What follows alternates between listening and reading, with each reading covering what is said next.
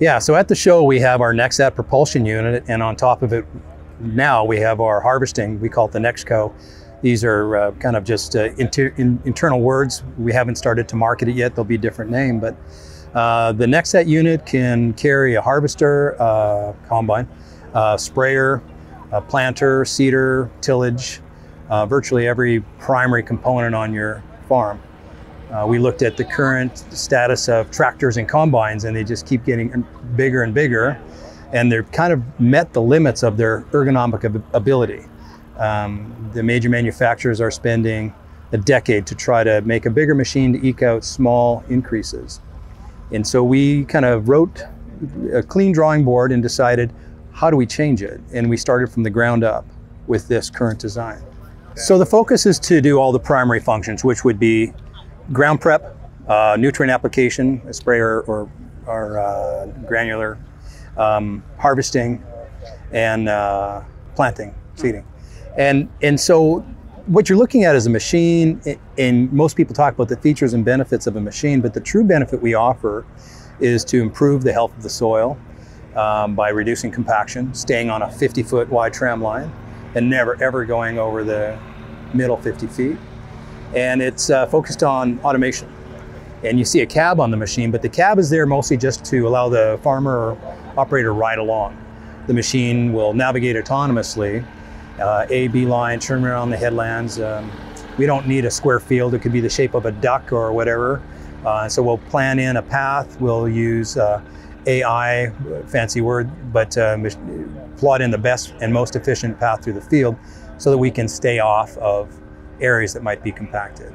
With that, we get better moisture penetration, more nutrients deep in the soil, deeper roots, um, after a few years of use, we find less need for synthetic nutrients, nitrogen, potassium, phosphorus, and some micronutrients.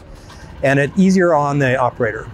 Uh, you'll ride along and you'll you no, don't need to navigate. You'll just watch the process of the harvest and be able to intervene. Um, maybe there's a deer on your row line during harvest, or maybe when you're planting, there's uh, the one of the one of the rows is getting plugged, and so you can watch that process. You know, the machine is here, but the benefit is the healthier land. You know, we've had 60, 70 years of compaction. Some people, well, everyone that's involved in agriculture knows what CTF or controlled traffic farming is, but with conventional processes, you can't avoid that. You have different wheel tracks. Um, your tractor is different than your planter is different than your sprayer. And so once again, going back to the space between uh, our propulsion unit that never gets compacted. So first year, we want to use a deep ripper to try to go and reverse 60 years of compaction. But that's the only time we really prescribe significant tillage. Uh, after that, we're going to use as much no-till as possible. Now, I have to say, being all over the North America, there are some fields where you occasionally have to deal with that root ball with certain types of corn, um, or you breaking in a new field. And so you are still going to need to do tillage occasionally, but nowhere near as frequently as conventional methods. We okay. started in the Ukraine with our first machine in 2017. Uh, for, for four years after that, we did all four functions of farming. Um, once the war broke out, we changed our focus uh, out of necessity. We were going to put the, the, the, machine we had there on a truck and haul it out of the Ukraine, but we thought it looked too much like military equipment and we'd get destroyed. It sounds funny, but that's true. So we left it in the shed there and built two more units rapidly and moved to East and West Germany to uh, Leipzig and Dresden. And um, after that, we decided to bring a unit to the US and make the US our primary focus of product development. Um, the US market is the most demanding worldwide for, for many reasons, uh, also the most important.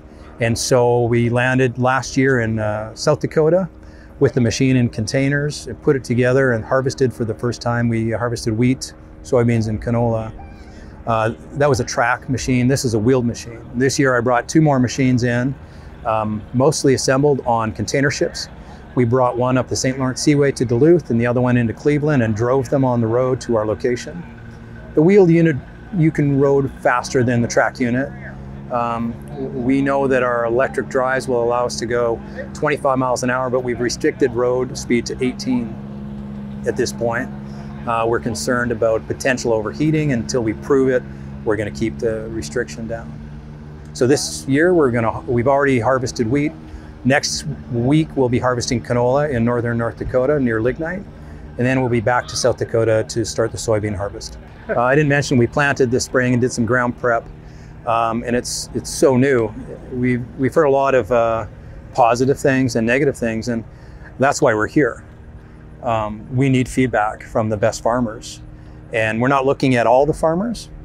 Uh, we're looking at the best 5%. It doesn't mean the biggest 5%, but we're looking at people that are concerned about the quality of the soil and multi-generational farms. It operates like a locomotive if you're familiar. It's not a conventional tractor. We have an engine.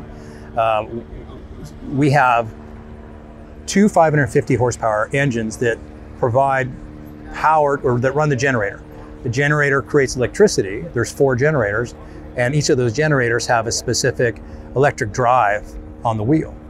And with that, we have a much more efficient method of running these implements. Um, immediate uh, fuel savings of about 20% um, compared to conventional methods. And so with those electric drives, we don't have a transmission, we don't have a lot, an awful lot of other things that conventional equipment has, much like electric vehicles don't have the complexities of the standard internal combustion vehicles. But we know we're in a different environment than road vehicles. We have a very demanding um, ecosystem we have to run 10 or 12 hours a day, huge torque demands. And so that's why we've used the concept of a locomotive as opposed to electric car.